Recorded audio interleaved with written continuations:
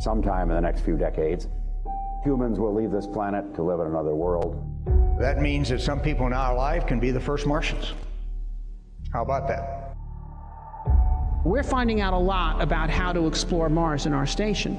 Over a thousand people from over 40 countries have actually participated in one crew or another.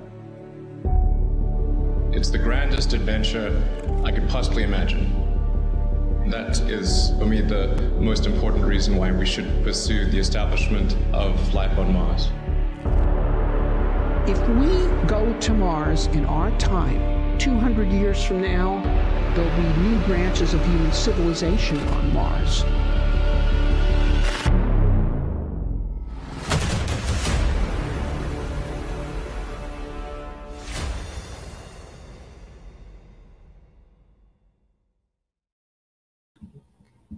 Welcome. We are live. Hey, welcome to Red Planet Live. I am your host, Ron Craig, and today is our fifth episode.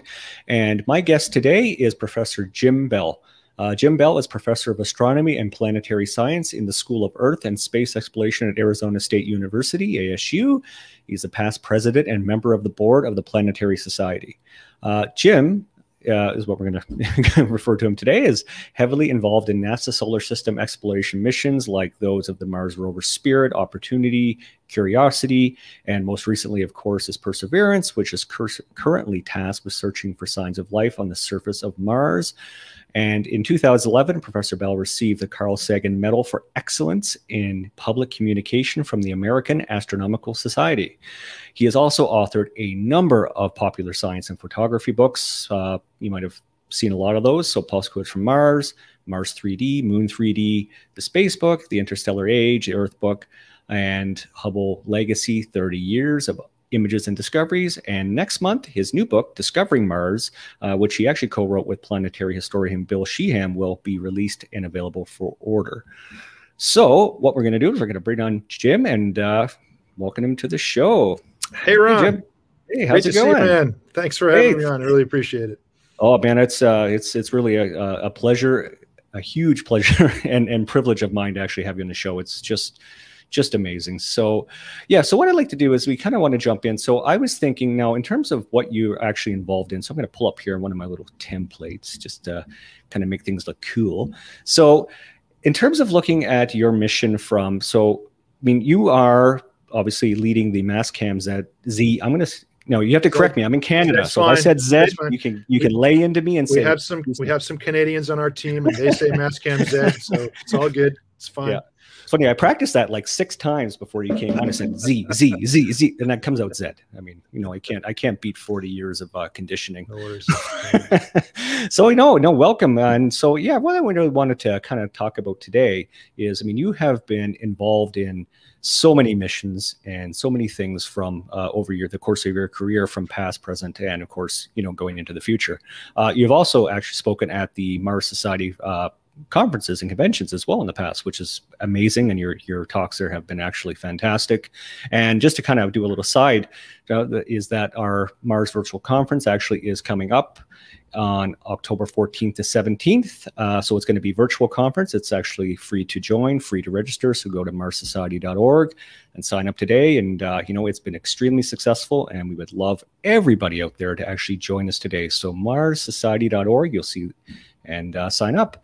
So, Jim, uh, you know, I think you know maybe we can just jump right in. I obviously, you know, I want to be respectful of your time, and you're busy. So, I was thinking. So, I wanted to actually showcase a you know, if we jump right in and we take a look at, let's say, Mastcam, you know, in terms of that mission that's currently on on Perseverance. Now, I think Mastcam, you're also on Curiosity as well, is it not?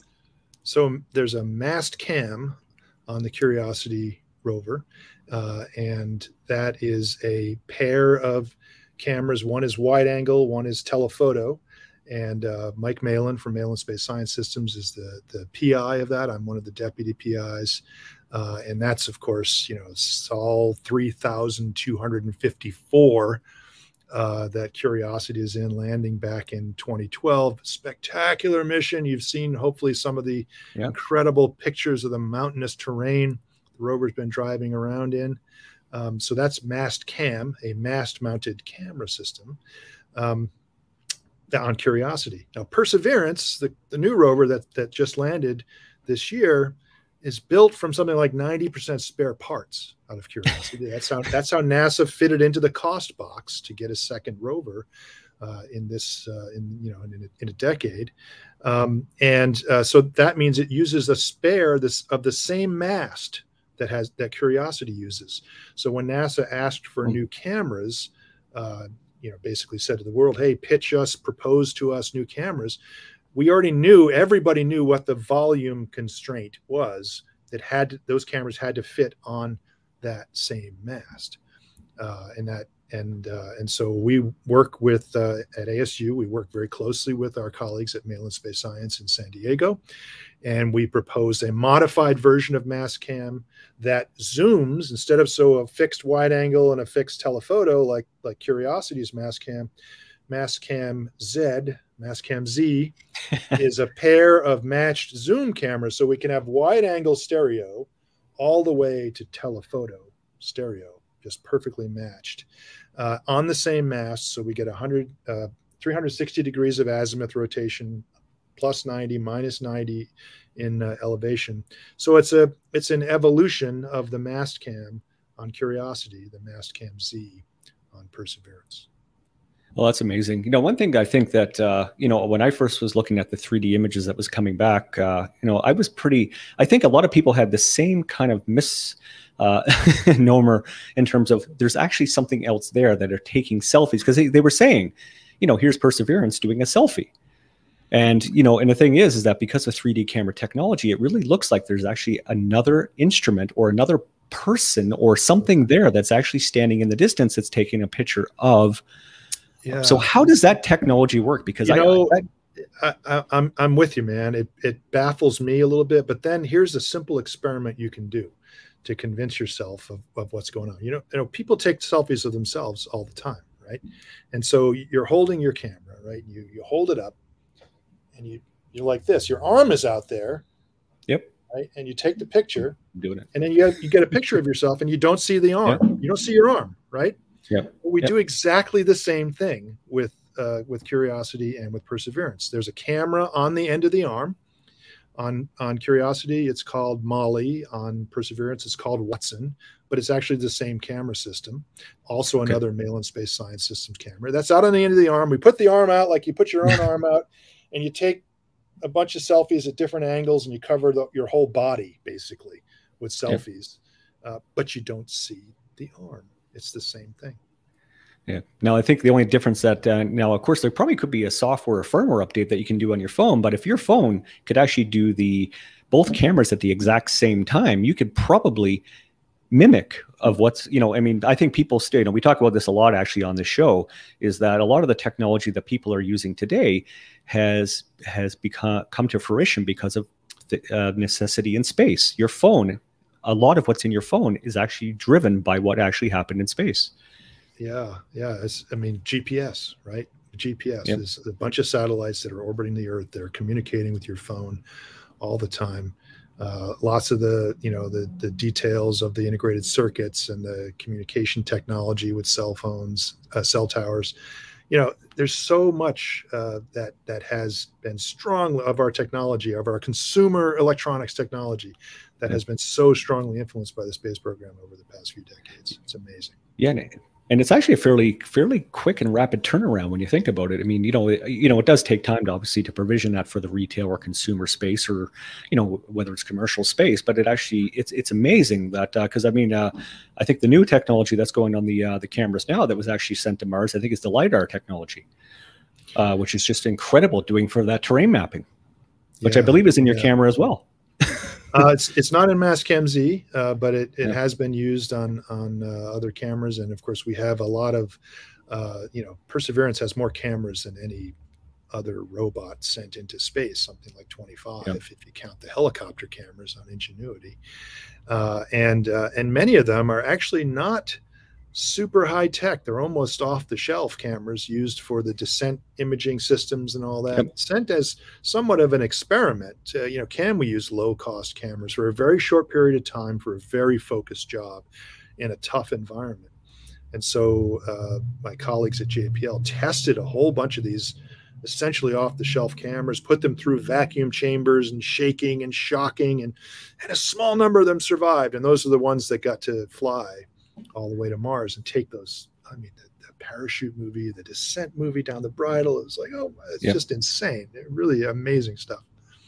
Yeah, it's a, it's amazing, and and of course these cameras, yeah, like you're saying, they're probably they weren't designed to be rugged. So you know, when you buy a computer nowadays, you can actually go and say, "Hey, Dell, I want you to get me a computer that's you know designed for rugged operations and manufacturing." Right. Or or and, but of course these are cameras. You don't really hear about cameras actually being designed uh, with that mandate. So yeah, I mean, I can understand why you had to go to the shelf and say, "Let's see who can be rugged." Who yeah, can't. yeah, and and you know the Mastcam Z and the Mastcam on Curiosity have a lot of very small optics inside with very tight tolerances and alignments, and everything has to work perfectly. The zoom slides along these rails that you know have to work perfectly, and so the vibration of a rocket launch, the shocks of the deployments that Yeah. happen after launch, I mean these are all huge risks to to sensitive optic systems. So we had to test all that tested it in vacuum, tested it huge temperature swings in, that we expect in space or even on Mars. We tested the shocks, we tested the vibrations, uh, and uh, we appear to have ta- passed our tests. So we're doing really I well. would say- cameras are, work- cameras are working great. Yeah. Yeah, I mean, you did so. I mean, it's brilliant. I mean, it's amazing. I mean, the the, the whole mission has been a success. I mean, ingenuity. Absolutely. I mean, you know, which was I think only supposed to go a few times. I mean, I mean, talk about you know uh, outstanding success. I mean, everything with, the, with the quality of the images coming uh, back from Mastcam, with with everything. I mean, all the cameras are just performing admirable. and some know, and some samples samples in the bag now right i mean There are uh, one samples. atmospheric sample and two rock samples out of a total of somewhere between 20 and 40 that we're going to collect eventually over the entire uh, course of the mission um, and so super exciting to be drilling into these rocks and not just drilling but coring and collecting you know these uh, these little pieces of rock that are about the size of a dry erase marker and Yep. putting them in these little tubes. They're inside the rover right now. We're carrying them with us until we figure out where to place them so that this next mission later this decade can come and Mhm. get them and bring them to an orbiter and bring them back to the Earth. So, I mean, a bunch of us are just super excited about not just seeing Mars through these robotic avatar eyes that we see Mars through right now. That's all we can do. But we can actually, Mhm. we'll actually be able to see those rocks, those soils, you know, with our own eyes in the lab, uh, maybe within a decade. Boy, wouldn't that be spectacular? Will won't that be spectacular? Oh yeah, it's going to happen for sure. I, I know I see a lot of people talking about, especially in social media, where they're saying, you know, we got to get those things back sooner rather than later. But I think, you know, one thing that, uh, you know, when you're working in in the space industry and you're doing missions like this, is that patience. Your patience is tested. You know, these things don't just happen. You can't just throw a rocket up and send it to Mars tomorrow. Uh, there's there could be 20 or 30 years of actual preparation that has, actually been in place because I think even the Curiosity Perseverance uh, rover line, if I if I remember correctly, we are talking about 20 or 30 years of of research all building upon to make that possible. It doesn't just happen overnight. It is rigorous testing, like just rigorous testing. Right. And both these current rovers trace their heritage to Spirit and Opportunity, uh, which were, you know, the early part of the 21st century, and Spirit and Opportunity trace their heritage to Mars Pathfinder and Sojourner rover in the mid 1990s. Right. And so, yes, it has been a, a long line. But, but look, I don't, I don't complain about it, Ron, because you know, No. people who study the moon and Mars, we we get fast missions compared to my colleagues who have to want to go to Jupiter, Saturn, Uranus, Neptune, Yes. Pluto, other planets out there. Uh, I mean, decades, you know, of, of planning time, and then you get you know one shot like Europa Clipper. It's like so much is Yeah. is resting on that because it's taken so long. Uh, Yeah, and it's New happening. Horizons, the New Horizons probe to, probe to Pluto, you know, taking what like nine years to get out there at that Yeah. just to travel at that so incredibly high speed. You know, it's solar system is big, space is full of space. Yeah, Uh, and uh, so, but but you know, studying Mars, the Moon, Venus, near Earth asteroids, close to home, uh, we're, we're pretty lucky that the travel times are relatively short. you know, and I think too that uh, you know with the with the vastness of space, you know, we say that off a lot. We say you know space is vast, but you know I don't think we can really comprehend. I mean, when you look at about you know the visible universe, which I think what is it about forty eight uh, to fifty billion light years across, you know, that's that's a fairly decent size. I mean. I mean, galaxy. Yeah. It's a, it's a little bit. So it's you know people always talk about you know uh, interstellar missions and things like that. We uh, we've got a little ways to go because even getting to Andromeda, uh, sorry Andromeda to get to Alpha Centauri, you know I think we're talking like 4.3 light years away. That's not a, that's not a big number until you Yeah. start really looking at how many how many miles or kilometers that is. That's Yeah, that's substantial. So you know and we're yet, to and yet, uh, and yet, there's plenty of people thinking about those those kinds of missions and uh, how we can become an interstellar uh, species, uh, not just a interplanetary species. You know, one step at a time, right? But uh, but still, it's it's great that uh, that there are folks thinking about that. The physics that would be needed, the generational starships, all that kind of fun stuff. It seems science fictiony right now, but it's also, you know, maybe something that is achievable. Maybe not Well, in our lifetimes, but uh, not I- too far from now. Yeah, well, I think everything kind of starts out at science fiction. I mean, how many, how often have we seen everything that starts out, you know, so many things that start out at science fiction actually become science fact? I mean, if you even look at like the movies Back to the Future, there's so much that's in that movie that they were thinking about and kind of, you know, the art, the artists were visualizing. Now look at what we have today. You know, they're talking on their wrist. We can do that. I, my watch does. that. so it's amazing that it's almost I, like we I are want setting I want a Mr. Fusion. I want a Mr. Fusion for my DeLorean. I don't have one of those yet. yeah, or the flux capacitor, right? or a DeLorean for that matter. Yeah. So. Yeah yeah. So yeah i'm just going to kind of go through just to see if we have any questions coming in. So i mean we have one no i don't want to get into I, I know i mentioned before the show that we you know we'll try to kind of avoid some of the conspiracy and you know we'll debunk things as they come in as as needed. But you know i had one question come in here that i just saw go past where you know what you know what are the chances that we actually can terraform mars? I know that's probably not you know actually that's probably within your realm is you know i mean I don't know if that's something we really think about that a lot much today. Terraforming. But First, let's get there. Let's worry about that later. But what are your thoughts on that? Well, I mean, you know, we were just talking about science fiction, science fiction. Right now, the you know, terraforming a planet is science fiction. We don't have the technology, uh, we don't have the infrastructure, um, we don't have the time. You know, I mean, uh, we are um, uh, we are engaged in an experiment right now, uh, changing the climate of our own planet, and you know, e- even though we're doing our best to pump a ton of CO2 into the atmosphere, it still takes it's taking a while right? It's taken the Mhm. better part of a century century and a half for that to really start taking off. Um, you know hopefully we can do something about it uh, you know that that's important to know that it's happening. We've, we've learned a lot about uh, our own planetary climate from climates of mars venus other places in the solar system so maybe we'll be Yep. smart enough to do something about it but um, you know to to dramatically change uh, the climate of Mars from you know one percent of the Earth's atmospheric pressure uh, for a planet that is fifty percent farther from the sun, therefore receiving much much less sunlight, is a massive technological undertaking that we just don't really know how to do. It's even Mhm. arguable whether there's you know enough resources there to do the job. You know, people have talked about well, if you evaporate the CO two ice caps, maybe release that CO2 in the atmosphere. Some colleagues of mine have, have predicted that there actually isn't enough CO2 to make much of a dent Mm. in it. So, how do we do that? Do we have to process the regolith in some way and extract oxygen? Hope that there's more CO2 or water ice uh, underground than we think. Uh, bring CO2 and other greenhouse gases in by crashing a comet into Mars. It's- Okay, now we're really talking about science fiction, right? I mean, so so right now it's uh, it's kind of a dream, right? Yep. Uh, and and then we have to step back and say, well, hang on, should we do that? Do we have a right to do that? What if there is indigenous life of some kind on Mars? We don't know that there isn't. Um, that used to be science fiction to even think about there being Yep. you know actual life you know as we know it on mars uh, but what what the rovers and orbiters and other missions of the past 50 years have shown is that it there are habitable environments on Mars even today, and there were many more habitable environments on Mars a long time ago, early in the history of the planet. So it's not crazy to think about subterranean, sub-aerial life on Mars. Uh, uh, you know, maybe simple, single-celled, microbial. You know, who knows?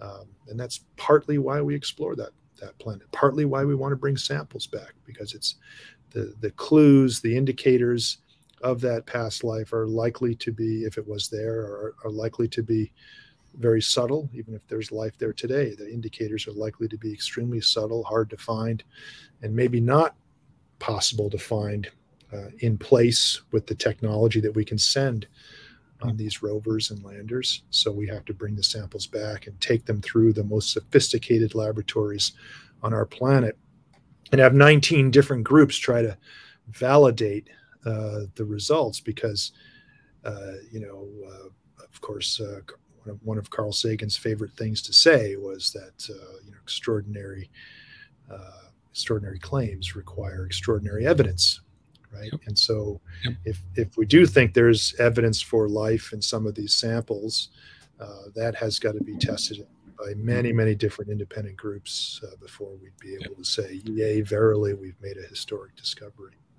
Yeah, I mean, one thing that uh, uh, to bring up Carl Sagan, who is, I think, all of our, we all look to him obviously as the the father of you know a lot of what we do. But you know, one thing he also did mention in one of his uh, comments was that if there is life on Mars, even if it's microbial, he actually felt that we shouldn't go there and actually try to inhabit it. From from if I remember correctly, from some of his statements. So you know, so I think we might. Uh, I I'm gonna you know I very rarely ever disagree with Carl Sagan, but for me personally, I don't feel, feel that uh, you know, I think we yeah. can coexist. You know, I think we can coexist uh, ethically, and you know, but yeah, I, am sure there. I don't know what your opinion is on that one, but yeah, I, I, I waffle back and forth between being optimistic and pessimistic about our species, depending on what's going on in the news. Yeah. Uh, but um, you know, and and you may be right. Uh, however, I think uh, I, I would, and many of my colleagues would really like us to do the best possible job of searching for and potentially characterizing any evidence for indigenous life on Mars before we go and contaminate the place. Yeah. Right. Just by being there, we will contaminate. We've already contaminated the planet with the Soviet landers and others, U.S. landers. You know, nothing is completely clean. Right. No. We do the best we can, but there's always, you know, some very small residual of the biota of Earth that make the trip and uh, and so in a sense we we have already contaminated the planet, but locally. Uh, once yeah. people start being there in larger numbers, traveling around, doing field work, uh, visiting some of the spectacular natural wonders as tourists, whatever, yeah. uh, then the, the human imprint, uh, the Earth biology imprint is going to be all over the place. Um, yeah. And if we if we ever really want to know if, if it, life independently arose on Mars as opposed to was seeded from the Earth or vice versa, uh, yep. then we've got to do the best job we can of, of characterizing that environment and doing that search before yep. this vanguard of, of human and, and terrestrial mm. biology uh, descends upon the red planet. Yeah, and I think there's got to be some way that we that we find uh, that we can do this because you know, I mean, if we if we were really stern and strict on that, that if there's life on a planet, we can never go there, then that basically means that we can never leave. We can never go to any other planet because any planet, I think, that is sustainable to us, let's say mostly, let's say 80% of it. I don't think any planet will ever be. You know, we were born here, we were built here so, you know, there's no planet that we can go to that I think, you know, it's kind of interesting. We see science fiction, we see Star Trek, we see people beaming down to planets and walking around without suits. In reality, that will probably never ever happen because we're never going to find a planet that is perfectly matched to our species. So, I never say never, Ron. I never say never. I mean, yeah, okay, but most likely, okay. uh, just the, the sheer numbers of planets. Uh, you know, tens yeah. of millions of Earth-like planets in our in the Milky Way galaxy alone. Uh, some of them probably shirt sleeve environment for us. I mean, the, the problem though is that they're probably they're so vastly far apart that yeah. the, the, travel times to get to them. But you know, to I agree with your point. You know, if if if we did adopt that philosophy, then we could search, we could explore, and search. But then, if we found some evidence for life, we'd have to leave. Yeah. Uh, which yeah. look but uh, not touch would be very hard to do, right? I mean, that you know, once that Pandora's box is open. Uh, okay. Uh, so we have a lot of questions coming in. So uh, I'll, I'll just do a couple now. I, so we have actually, so Roger Nelson coming in. So if anything feels like it's getting into a political stance, feel free to say, you know, uh, no comment. But obviously, when you bring up other companies and what they're doing, there could be some, you know, but, you know, obviously we have, you know, Roger Nelson here saying, you know, do you agree with SpaceX's goal uh, to make humans interplanetary via a private exploration program? I think that's a fairly safe one. I, I agree with the concept of making humanity a multi planet species. It means we're out there exploring, it means we're doing science, it means we're probably being tourists as well. Um, you know, it, it, means that there's you know economic activity of planet Earth is is spreading out into the entire solar system. So uh, I do, I do agree. I don't know if SpaceX has the right way to do it or not, but I think uh, Elon Musk's heart is in the right place, in my opinion. Uh, and uh, I know a bunch of folks at that company who are working hard to try to to get that vision uh, realized. Um, you know, can we do it well? Can we avoid the mistakes in human expansion that we have repeatedly made on our own planet? Yep. The the damage and carnage that we've caused to each other. Uh, yep. Gosh, I hope we can avoid and learn from that. Again, yeah. I go through moments of optimism and moments of pessimism, yeah. uh, depending on what's going on in the news. Uh, but ultimately, I, I, am an optimist, and uh, yeah. I do believe that that's part of the future that's coming. Yeah. yeah, you know, and I think you know we always uh, say often that we study history so that we don't actually risk you know repeating some of the failures or, or travesties. But unfortunately, we seem to continue to do it. So, yeah. so we're obviously not studying history well enough in in some cases. But you know, we, I, I we need like to do better. We need to do better. Absolutely. Yeah, we can. So yeah, better. I mean we have to. You know, this is this is a kind of a, a Roddenberry view, right? That the Roddenberry yep. optimism is that we can do better. We can be a better species. We can figure out how to get along. We can figure out how to live off the sustainable resources of, of our world and and the worlds and other worlds.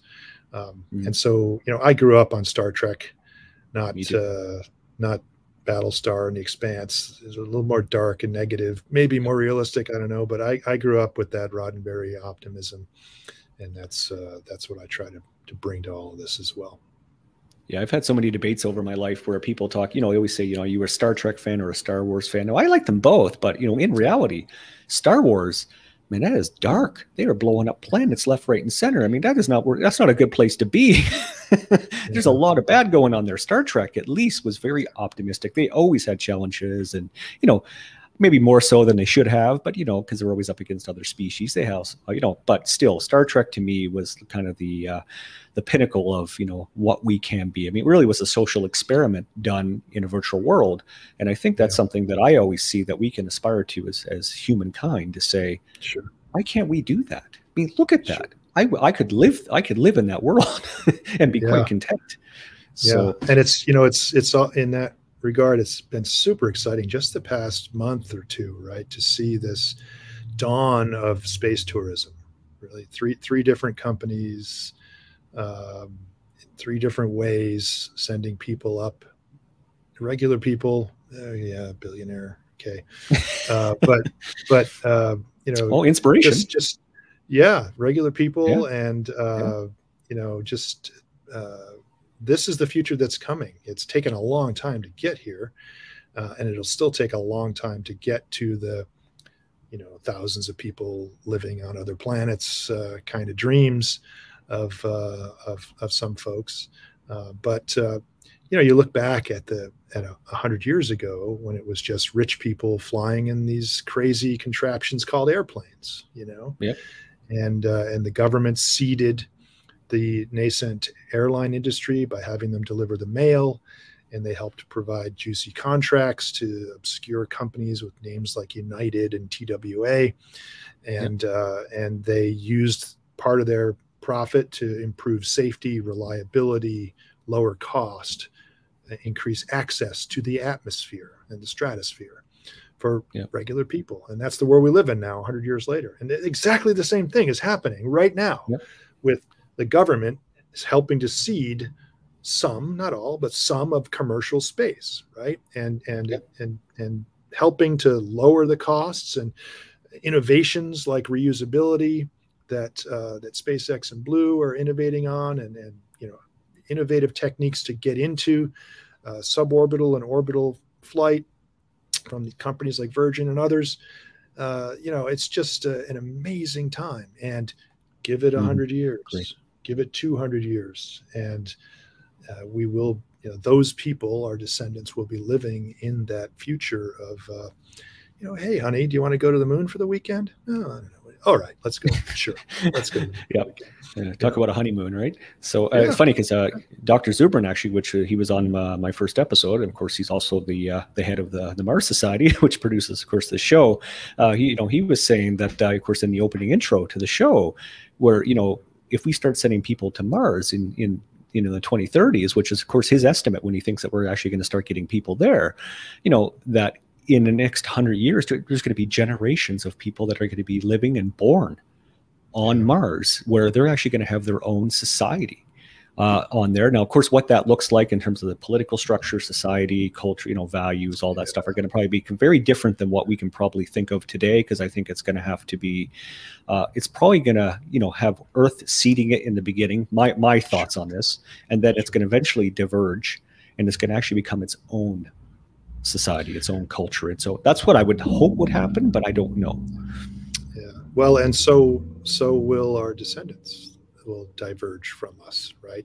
Lower Yep. gravity environment, higher radiation environment. You know, it's not entirely clear that we can successfully live on Mars long term. It's not clear that uh, that uh, we can have babies on Mars, right? It's just we just Yep. don't know. There's there's uh, Yep. lots of unknowns, lots of work being done um, in this, on the space station and other ways to do medical research to understand the long-term effects of the space environment. There'll be a bunch of uh, testing and prototyping and practice on the moon. You know, I, I firmly believe that the moon is our stepping stone to Mars. We need to learn how to go back into deep space, and we have this wonderful lifeboat right here called the moon. Uh, we're not done exploring the moon. We haven't explored the moon in person for 50, more than 50 years. There's lots to do, great science to do there. There's uh, technology development to do there. There's there's uh, you know, astronomy, geology, planetary science. There's tourism that's going to be on the Yep. moon, but but mostly it's about learning how to live in the space environment again and and taking all of that experience that we rebuild with modern technology and and then applying it to Mars and other destinations out there. So, you know, we at Planetary Society we talk a lot about Moon to Mars. NASA talks about Moon to Mars. Uh, it, it just it yeah we could go directly to Mars. I know uh, Dr. Zubrin has for a long time been advocating Mars direct missions, and and those those will will work if we decide as a nation to do that. Other nations may do that. Spa- SpaceX might do that. You know, who knows? Um, I I personally prefer a kind of a methodical approach, and I would love us to get that practice close to home. Uh, Yeah. You know, rebuild a lot of you know what we had uh, with uh, Apollo, but with much Yeah. more modern uh, technology. So, but Yeah. on, honestly, I, I want us I want us to get out there. I want us to get back. I'm antsy for these new uh, commercial missions that are going to go robotically back to the moon soon, scout out places for uh, for future human settlements. I'm antsy about getting the first people back to the moon. Uh, Mhm. NASA astronauts, maybe they're SpaceX, maybe they'll be Chinese. You know, who knows, right? But all of the above. Uh, antsy to see that that all move forward, and of course, getting those first crews out to Mars and uh, getting human boots in the red dust is, uh, Yeah. I think all of us, all of us Mars nerds, right? We all share that goal. We all want to see that happen. Yeah you know it's it's it's amazing too. And i think one thing too especially with what you're what you're working on with the camera technology i think you know with with the communication delay uh, that it takes you know to go and actually have you know communication or imagery coming back you know there is no such thing as real-time communication to mars. It's it's just not possible. And of course but we do have near real-time communication possible with the moon. You know, I think what is it, half a second each way, so like a second round trip, uh, which is basically you could, for the most part, is real time communication. So we have that capability, and of course, it's also close enough, I think, uh, that if there is some, you know, some sort of an emergency or something we have to intervene. Sure. Sure. You know, I mean, it is still far. We, we we can't forget the moon is still pretty far, but we can yeah. get there within, you know, as long as we had everything ready to go. We had a recovery mission ready, fueled up, ready to go off the launch pad. You can get there in a few days. Actually, you can get to the moon. Actually, I believe in less less than a day. I think they've done in the past, but that was kind of a very special mission going as fast as you could possibly go right, uh, with right. that technology. But yeah, I mean, I think there's definitely benefits to. Uh, but you know, we actually one one cool thing about, uh, and we say this a lot because what comes up uh, in a lot of conversations, it came up in actually a couple of my other shows, is people talk about well. We have to worry about getting Earth fixed. We have to worry about what's happening here on Earth before we go here. But you know, totally to take that even further, in in the space context, we don't have to go to the moon, then go to Mars. We can also go to the moon and go to Mars. We could do things in parallel because there could be, like you said, there's other people that may have an interest to do one or the other or both. Is that we can do these things in parallel. We're never actually restricted to say it has to be this way. You know, we yeah. can be flexible. We all have our preferences on how things should be. And, you know, it's really just about being kind and, you know, to me, about, you know, you know respectful what everybody you know wants to do but i think yeah. well I, want to pick up on that point for a, moment you know and because obviously yeah it, there's uh, it's expensive to have a space program. It's expensive to send people out into space. It's expensive to explore. Uh, it will be expensive uh, to to settle these other places uh, it will be costly in terms of dollars. It will be costly in terms of human lives. Let's not kid ourselves, right? It's dangerous. And mm-hmm. we're going out into hostile environments, starting with explosive rockets. And then you get there and it's a vacuum and temperatures on the moon at 400 to minus 200, you know, and then you go to Mars and there's uh, you know, radiation and no atmosphere to breathe and no accessible water unless you dig, blah, blah, blah, blah, blah. Um, so, you know, we shouldn't kid ourselves that th- this is very expensive. And so why why are we do why don't we fix our own planet?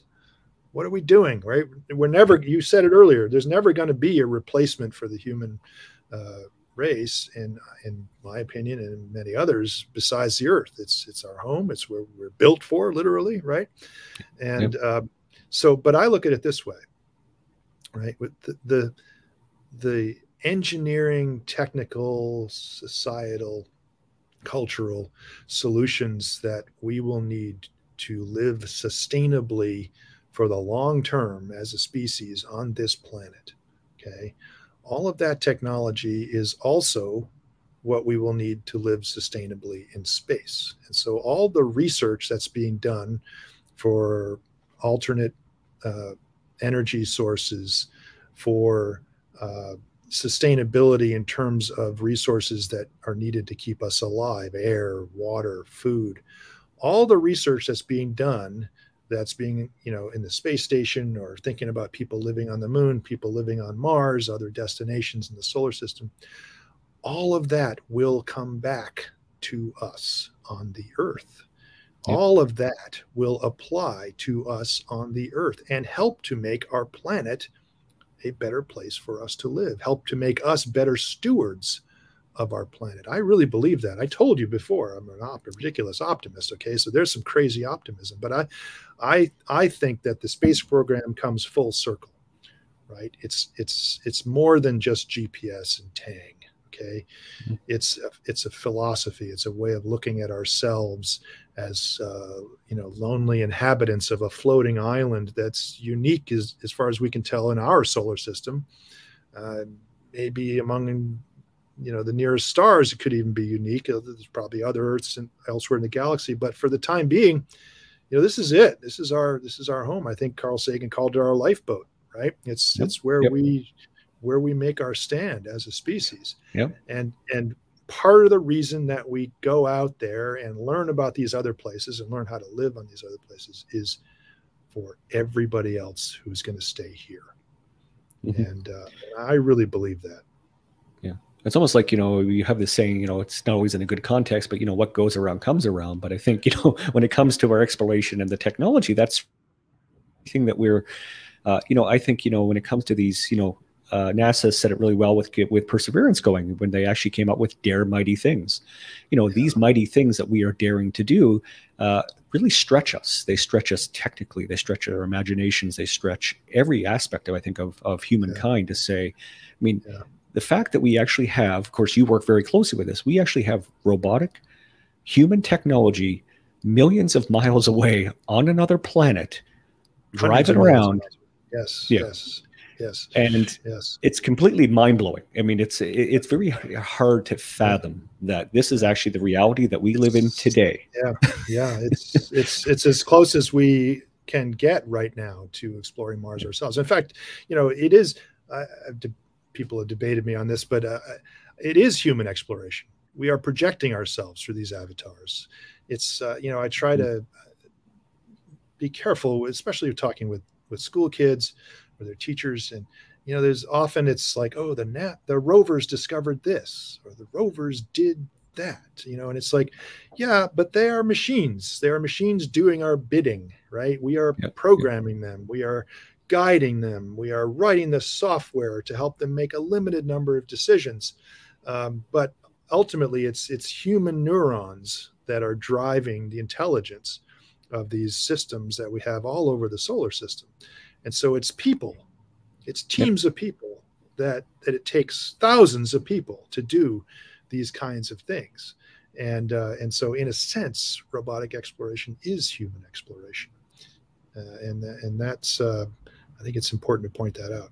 I'll, I'll also you know point out something else I learned as a student in school that um, you know how, how is this tangible to us back here? What are what are some of the ways? And you know, it turned out that uh, after the Viking missions landed in the 70s, and uh, one of the things they did was, of course, they took pictures of all the landscape around them, took pictures of the atmosphere and the dust in the atmosphere and the way it reflected sunlight, made temperature measurements, and you know, and and noticed that um, at when these dust storms happened and that dust was injected in the atmosphere, it got cold at the surface, and uh, wasn't necessarily intuitive. It wouldn't the dust be like a blanket that would help keep things warmer? Why would it get colder? And this was a puzzle. And one of my scientific mentors, a guy named Jim Pollack, who was Carl Sagan's first grad student, and, and others, Brian Toon, others, worked this out and, and figured out how dust injected into a planetary atmosphere can cool the surface. And they used the same model to figure out what would happen if the US and the then USSR traded nuclear weapons I, I and injected smoke and dust into the Earth's atmosphere, there would be no winner. Nobody could win because the entire surface of the planet would be cooled to wintertime sub-freezing temperatures and you know dramatically influence all life on our planet. Mm-hmm. and it's like wow hey there's something pragmatic right? If you can actually prove to these you know, politicians that it's an unwinnable situation. It doesn't matter if you blow up all the cities. Hey, we win, you lose, right? Yeah. And uh, and so that was a, just as a student, learning that was just a dramatic example of how you don't really know what we're going to learn about ourselves by exploring and learning about other worlds and maybe that we should probably listen to scientists more. Of course, that actually been has been the creed for you know for the last uh, couple thousand years. but yeah, it's it's amazing uh, the struggles of uh, that scientists. But you know, I think for every kind of uh, doomsday scenario or that that maybe has been averted, there's always been a scientist that has been advising somebody that actually you know convinced them to say, you know, maybe we shouldn't be launching those. so you know, it's doing yeah. our due diligence, right? I, I encourage people to listen to their inner scientist, right? Yeah. Uh, think think critically oh, question things. Uh, go work it out for yourself. Uh, follow authoritative sources. You know, um, uh, make a hypothesis and test it. And if it's wrong, change it. Right. I mean, these are just hallmarks of the scientific method. That's that's what's got us to where we are with modern medicine, right? I mean, our, our lives are so enriched by modern medicine and, and, and modern technology because of this just this simple scientific method of way of thinking. Yeah. So, so Jim, I wanted to give you a kind of a, a opportunity. Funny how you know, just actually, you know, just when I was thinking of that, it's amazing the names of the missions that have gone to Mars: Curiosity, Perseverance, Opportunity. it's like, I mean, talk about picking the right words mm. for the job at hand. I mean, it's just amazing how they're all inspirational. They're always inspirational uh, words. But anyway, I'm going off topic and tangent, but I wanted to bring it up just as I'm saying the word. It's all good. It's all good. But I want to, but I want to give you the opportunity to because you know the Mastcam uh, imagery that comes back. I mean, these are extremely high resolution, extremely detailed, you know, imagery. So I wanted to give you an opportunity. Do you actually have some images that you actually have available that you'd like to share, or maybe even showcase some of the sites you- and raw you know, images? Yeah, so I pulled up uh, before we started. Um, let's see if I can do this here. I sh- can Uh, share. I can my- share. I can add your screen in there if you'd like. Oh, there you go. Is Yeah, that people, my, if you're- is that my screen? That I- is your screen. the screen Yes. moving? Oh, okay, that is your screen. I can't. I can't see them both. Sorry. Uh, yeah, Yeah, So there's no. this great, great website. If you just if you just Google um, Mars 2020 raw images, you'll get this this URL here, and um, you can see all the data that come down from Perseverance rover from all of the cameras. Look at all these engineering cameras, science cameras, entry descent landing cameras, helicopter cameras, right? And so we can have a little fun here and just choose Mastcam Z. So what happens is as soon as the data are downlinked to the Earth, they come to one of NASA's Deep Space Network antennas in Spain, Australia, or California, and then all those ones and zeros from the radio signal get relayed to the Jet Propulsion Lab in Pasadena, and then turned back into the images, and they get kind of split up, and they come to the science team, and then they go to the web. Uh, in real time, automated, we have no control over it. Uh, so everybody can see the pictures uh, as soon as as we see the pictures. So here's some recent pictures that have come down just in the last few days. We actually just started a break. Uh, the Perseverance and Curiosity teams are on what's called a conjunction break because it's superior conjunction. Mars is going not exactly behind the sun, but very close to behind the sun on the other side of the solar system right now. And when Mars gets that close to the sun, it disrupts radio communication. And so um, the management just says, okay, everybody take three weeks off. We're just going to let the rovers rest and downlink some data that they've collected earlier, or at least try to. Uh, with the kind of ratty radio signals.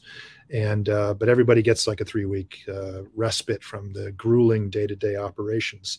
So we're seeing some images that were taken more than a couple of days ago from uh, from the Mastcam Z camera. So you can go in here and you can look at uh, some here, just pick one here.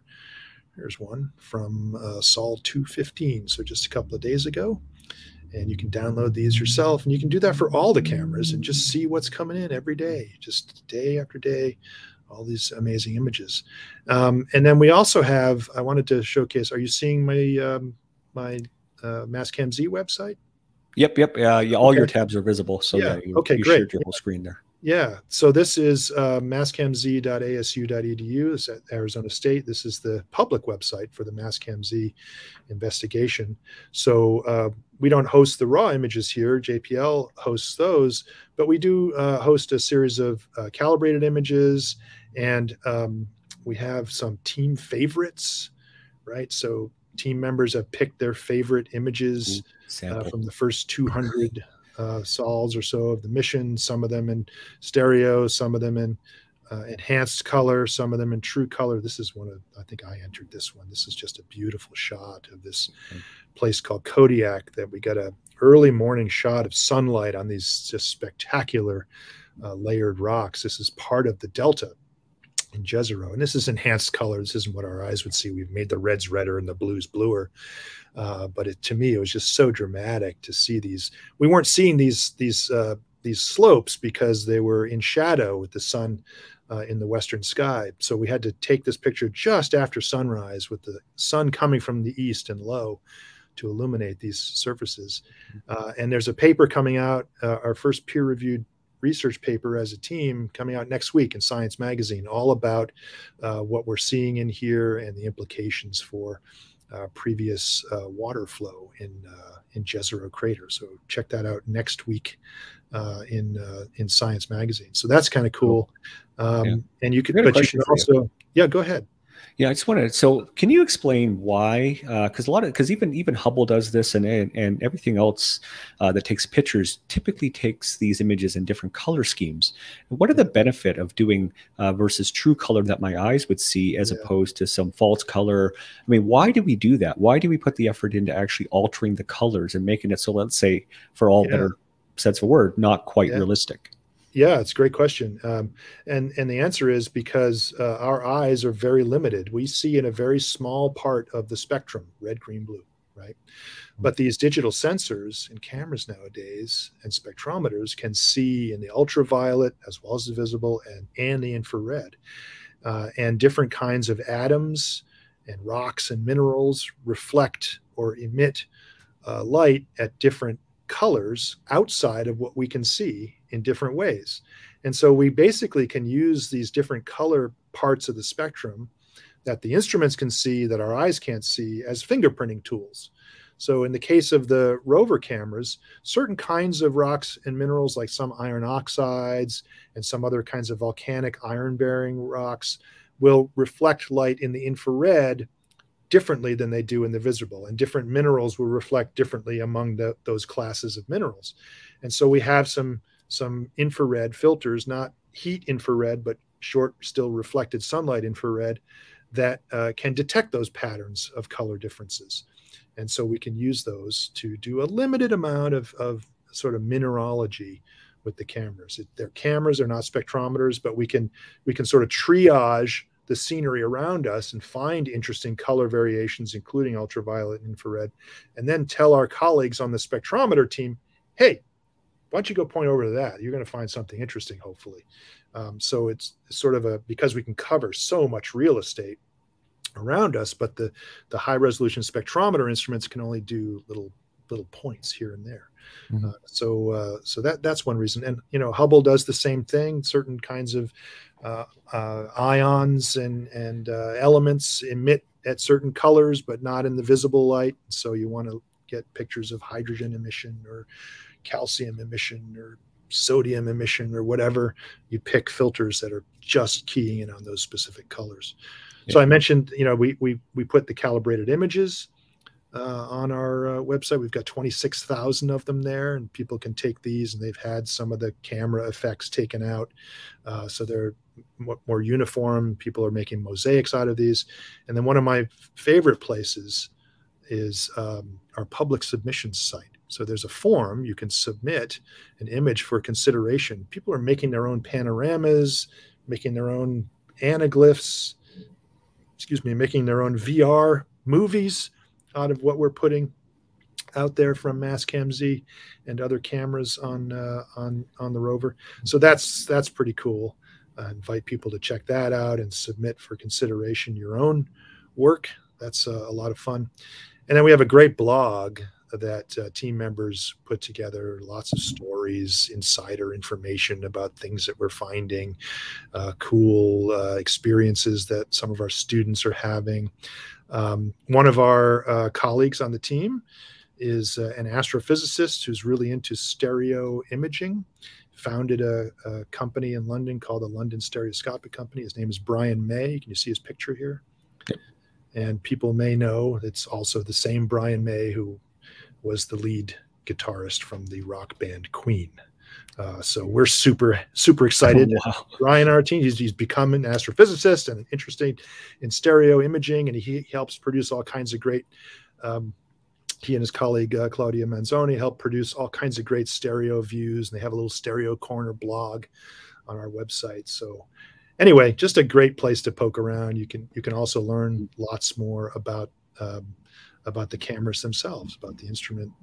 And there's that picture you showed, and some tech specs, uh, the science goals that we have, Mm. uh, pictures of the instrument, more details and pointers uh, on the mission uh, in terms of uh, what um, uh, what we're doing with all the other instruments, pointers to the NASA website, the JPL website, all kinds of cool technical details about how the Mastcam Zs work, including a cool animation about what's going on there inside the zoom lenses when we go from telephoto, from wide angle to telephoto, for example. So a lot of fun. I love I love our website, and a lot of people enjoy the the information that we put out there. And what's that URL again? Uh, I can also mastcamz.asu.edu. Okay. Mastcamz.asu.edu. Okay, so and and you can find links to all of the JPL and NASA sites there as well, uh, and learn lots about not just Perseverance but Curiosity and the InSight lander mission, which is continuing on Mars, and the dozens of other spacecraft all over the solar system that NASA and other space agencies are, are running today. Cool. It's really just an incredible golden age of exploration of our solar system right now. Yeah.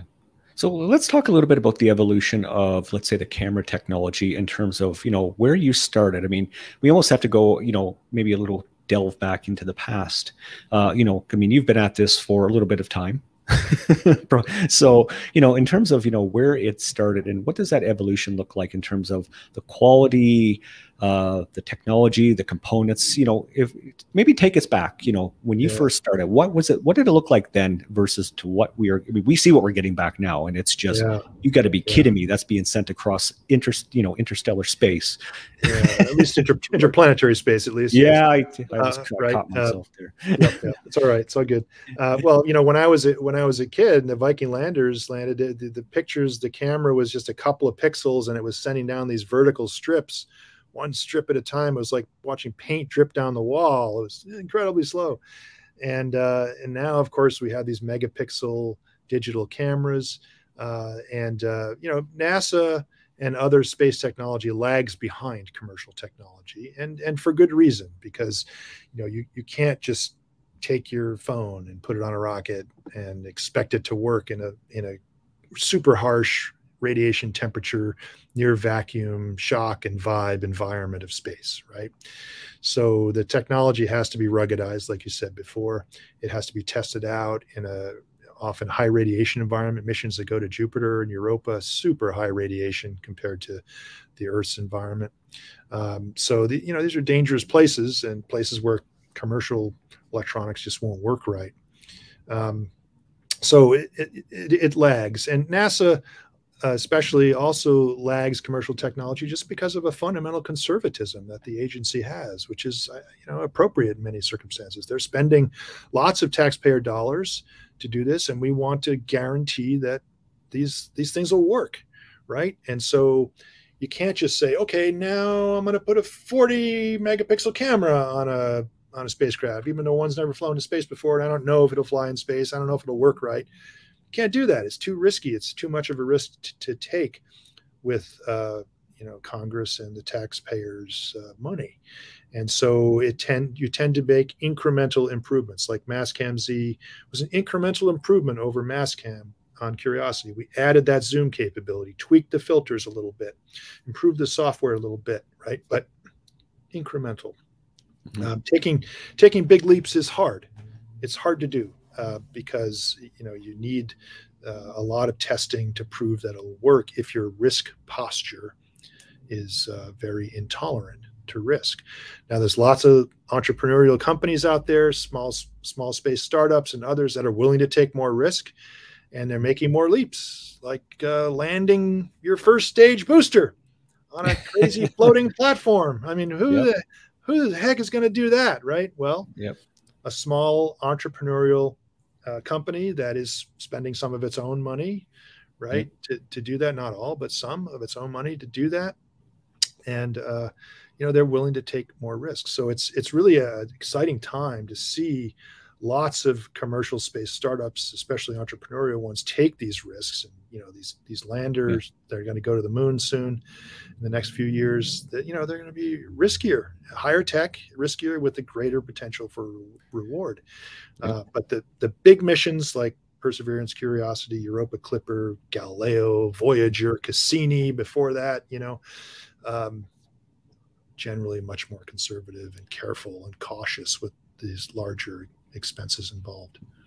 Yeah, it almost seems to be almost uh, yeah, relative to the distance that you're setting. I think you know if you're going to you know if you're going to go to low, low Earth orbit, you know you could probably take a little bit more risk, uh, just yeah. because you're not going as far. But if you're going to send yeah. something you know over to let's say Europa, which is going to take I think what is it a nine year trip, uh, at least uh, you know so you Seven can't so, just yeah, yeah you yeah. just can't. that's a that's a long ways to go to say we shouldn't have sent the camera. Yeah. and you know uh, a billion dollars later you know it's uh, so I, I, it definitely makes sense that you know i mean and i think that you know to get back to your point about the moon that i think that's one of the advantages of going to the moon first is because you can test your your concepts you can test your processes you can test your theories uh, your technology and everything else that we're doing even from the human perspective and actually that may save lives uh, yeah. that if we're going to just send somebody to Mars, and you know, it, I think it all depends on you know how much risk you are willing to take. And I, I'm sure there are going to be a lot of people out there that would say, I'll go to Mars tomorrow. I will take that risk. You will find people that will probably put their hand up and are ready to go. Yeah. And other people might be a little bit more conservative. Yeah. At the end of the day, it's it's what you choose, right? And it's yeah. Uh, no, look, I, I I would love to go, but I'll tell you what, I want to come back, man. I I want to come back. Earth is my favorite planet. I've lived here most of my life. Most of my friends are from here. So, I, but I totally would love to take that trip someday. Yeah. So I know we're getting close to the uh, time. So what I want to do is give you the opportunity. You have uh, authored a fair number of books, uh, you know, some amazing books, and you actually have a book coming out uh, recently. Now, actually, I'm pretty sure that uh, when we were talking initially, uh, it was supposed to come out, I think, next month, but I believe you can order it today. It's yeah, but it won't be officially released until I, I want to say October 12th or something. Okay. So a couple of weeks. Okay, so I'm just going to bring. Look, you found it. It's called Discovering Mars uh, history of observation and exploration of the red planet. It's uh, my uh, colleague uh, Bill Sheehan is the lead author, and I'm the I'm his co-author. Uh, Bill is an, a historian, also a psychologist. Uh, he's written a number of books on his own about the whole history of Mars and canals and seeing what we want to see and the, a lot of the characters involved in the early history of Mars exploration. And he wrote a book back in the 90s uh, called The Planet Mars. And I remember reading that when I was a student and getting an awful lot of information out of that is history of the early telescopic days of, of Mars exploration. And um, and he wanted to, he, that was with the University of Arizona Press. Uh, this book is with the University of Arizona Press. And I, I, think they must have approached him or he approached them about updating the book. And, uh, you know, he's, he's like, well, you know, there's been this whole history of space exploration of Mars now uh, more than 50 years. Uh, in fact, this year is the 50th uh, anniversary of the Mariner 9 uh, mission to uh, the first mission to orbit Mars. that's in November. Um, and so he reached out to me and we talked and we agreed to expand his original book to include an updated version of the entire history of telescopic exploration of Mars and the entire history of spacecraft exploration of Mars up to the missions that have have uh, landed this year. And we think it's the first time that anyone's tried to capture that entire history of Mars exploration from naked eye, telescopic through spacecraft in, in one place. It's 700 something pages of one place. Uh, and we have some, some, nice illustrations and all that. Um, but uh, it was just a, an enormous amount of fun to work with Bill.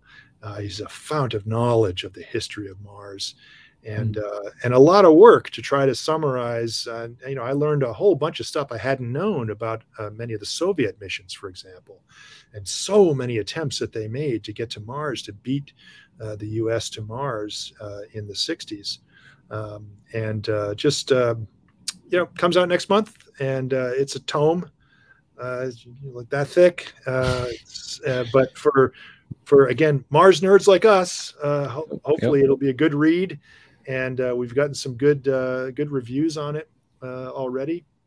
Uh, Kim Stanley Robinson wrote the foreword for us, uh, yeah. which is just great. I mean, what a what a treat uh, that was to have uh, you know that that uh, visionary author uh, take a look at our work and judge it well. it was great. Yeah, no, that's amazing. Well, it's like uh, an encyclopedia. Yeah, You wrote Yeah, an so- encyclopedia, really. uh, when we got uh, there's some appendices in there about timekeeping on Mars. Emily Emily Lak- Lakdawala, who used to work for Planetary Society, Yeah. wrote a wonderful piece about Mars timekeeping as an appendix.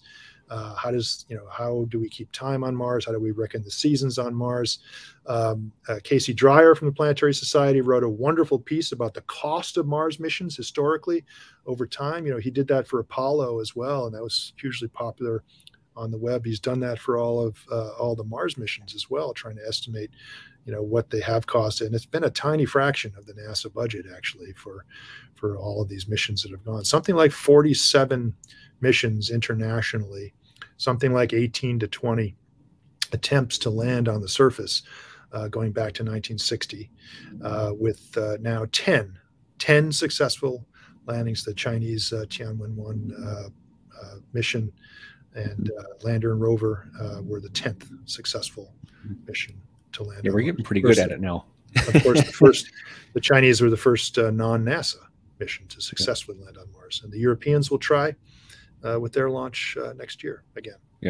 Well, I love the actually the new the new uh, process where they're actually doing it with the sky crane. I mean, I think that's uh, that's a winner because I think you know one of the one of the previous missions, of course, they were using the uh, the airbags, uh, which is you know I'm just thinking if I was actually on the planet uh, as a as an indigenous native and seeing this you know airbag coming down, it's like you know okay, but it worked. It, it worked beautifully. sight. I mean, it did. What a sight and- Yeah, yeah. But now, I mean, when you think about the whole, you know, the the the sky crane and everything dropping the rover on the planet, I mean, that is right out of out of the scenes of a sci-fi movie.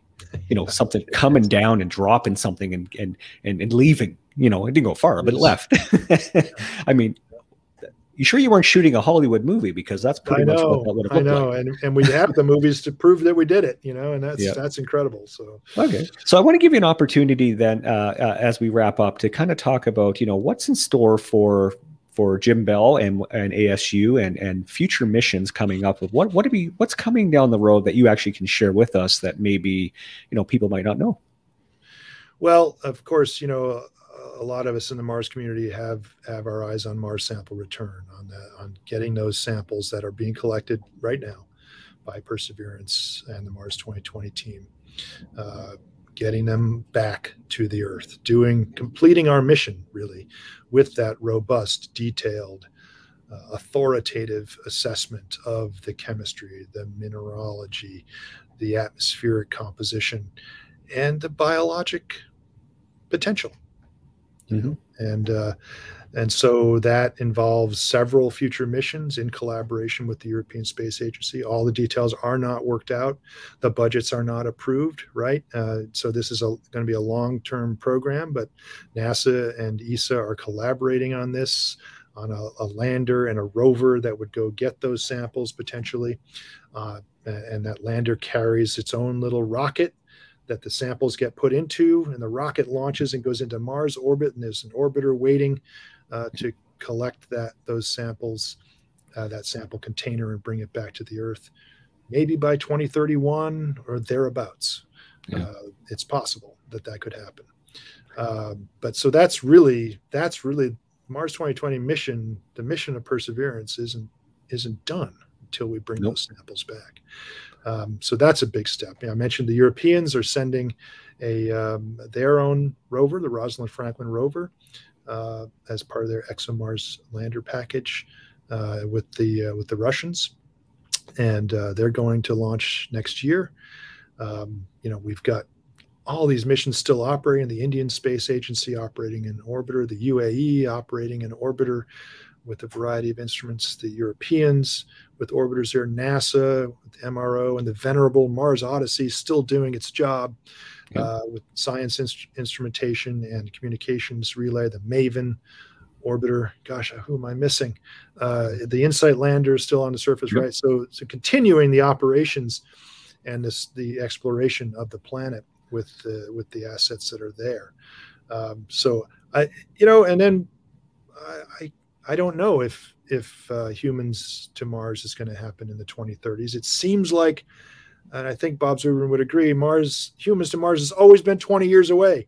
You know, Yeah. no matter when we think about it, right? And uh, but you know the the pieces of the puzzle are coming together, and additional additional capabilities coming from the outside, right? Mhm. Of course, the Chinese interested, uh, and SpaceX interested, Yeah. and both independent agencies, companies capable uh, potentially of doing that. So it's not just NASA in this game anymore. Although, of course, you know, NASA is my favorite space agency. I'll confess that. no, Um, no problem. Mine too. certainly, certainly would love to uh, love to see NASA take the leadership on that and and maybe make it an international effort. Let's collaborate. Let's go as a planet and uh, and explore this new world. Well, I think cooperation. I mean, I think you know. I think even uh, you know because the Mars Society put out a uh, a tweet and uh, not long ago that uh, Elon Musk himself retweeted where they talked about you know that this has to be done in a cooperation. You know, it has to be cooperative for this to really happen because I think there's certain things that just can't happen. You know, SpaceX. You know, let's say they decide we want to go to Mars tomorrow, but there's gonna there could be uh, the need for certain technologies that they just don't actually have the capability to put there. Like you know, people talk about needing a nuclear reactor uh, on the surface of Mars, but commercial companies can't typically get a nuclear reactor and It's just move it there. So you, It's yeah, so you, yeah, so you kind of have to have that cooperative. You need to have somebody overseeing it and actually keep it in. You know, we do better together. You know, we we always will perform better together. I mean, I'm, I'm I'm, I'm you a on fan that of- one. you know, competition does work. I think cooperation can work better. You know, but Yeah. uh, Both models work, right? Yeah. We we got to the moon and Apollo because of competition. Yep. And that, you know, of course, you know, we won that space race and it completely revolutionized our scientific knowledge of the Earth Moon system. And, you know, the expectation is that we will, you know, vault to new levels in our knowledge of Mars by exploring the place with people as well. No, that's amazing. No, I mean, so I, I just want to thank you again. You know, I think, you know, obviously I want to be respectful of your time and, uh, you know, I really appreciate you coming on and you're really sharing your thoughts about uh, Mars and the missions and everything you've worked on. And, you know, of course, there's so much more excitement in the future. And I think we're at a time now where, you know, if you look at the Apollo era, now, of course, that's a bit maybe before I was able to, I wasn't alive then, but, you know, the excitement and everything that was going on then, you know, I mean, it, it really rocked the planet you know everybody was talking about and i think we're getting to a point now in the space program with everything with the commercial programs and you know there's a launch like i mean space launches weren't that were far and few between now there's a space launch every week Mu- Sometimes multiple, multiple Yeah. times per week. Yeah. Yeah. so it's just just incredible. So i want to thank you. I mean i really appreciate you coming on and uh, obviously you know uh, hopefully again we can have you on again in the future and maybe talk about some other things. You actually said something that really was interesting to me is that you actually do a lot of uh, you do some uh, education with children and uh, so that's something that i actually want to look at doing a program or an episode in the near future where we actually go and maybe get some kids on and actually do something fun uh, in that regard. So that'd be cool. Maybe we can invite you back for that. Oh yeah, space is a, just a great way to reach kids and STEM, Yeah. and you know, I mean, they're just naturally curious. They're naturally scientists and uh, and excited, just like we are as grown-ups about rockets and space travel and planets and stuff like that. So yeah, Okay, well, Jim, thank you very much for your time. I really appreciate it. And uh, uh, everybody else who came in, I, I love the questions that came in. I really appreciate it uh, for the audience, for the guest. Uh, thanks to the Mars Society for producing the show. And uh, as I mentioned before, our virtual conference is coming up from October 14th to 17th. So make sure that you get to the marssociety.org and you register. We want to see. I mean, it's a beautiful event. You're going to love it. So we want to see you there. And uh, I will bid you adieu. thank you, Ron. Thanks for having me. I appreciate it. Thanks, Jim. Take Thank you very everybody. much. Okay, Take bye, care. everyone. Sometime in the next few decades, humans will leave this planet to live in another world. That means that some people in our life can be the first Martians. How about that? We're finding out a lot about how to explore Mars in our station. Over a thousand people from over 40 countries have actually participated in one crew or another. It's the grandest adventure I could possibly imagine. That is, for me, the most important reason why we should pursue the establishment of life on Mars. If we go to Mars in our time, 200 years from now, there'll be new branches of human civilization on Mars.